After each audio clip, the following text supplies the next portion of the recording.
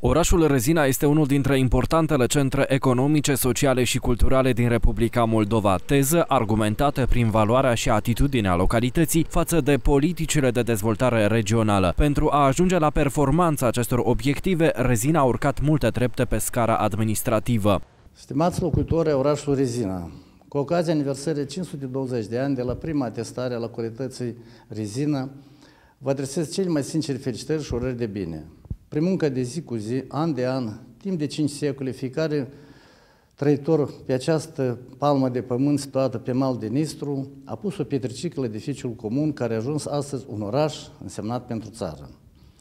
Ne închinăm în fața înaintașilor, cinstim efortul meritos al veteranilor noștri, apreciem munca asiduă tuturor angajaților în economie, cultură, învățământ, în sfera socială a urbii noastre și privim cu încredere la tineri care vor continua să edifice calea europeană a orașului Rezina. Să ne fiți cu toții sănătoși, prosperi, să aveți parte de succese în toate domeniile vieții.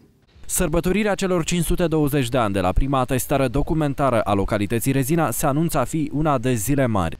Cu acest frumos prilej, invităm locuitorii orașului, consilierii raionali, consilierii roșănești, primarii urbilor, la data de 5 februarie, ora 16, la o adunare festivă, iar mai apoi la un concert de gală cu formația Nemuritorii din România, care va avea loc în Casa de Cultură Raională.